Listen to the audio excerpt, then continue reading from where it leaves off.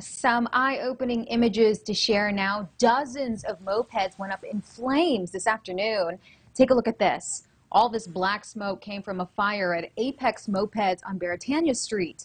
HFD crews arrived and found 80 mopeds on fire. The blaze then spread to the business itself, causing some damage. HFD says the mopeds are a total loss. The cause of the fire is under investigation. No one was hurt.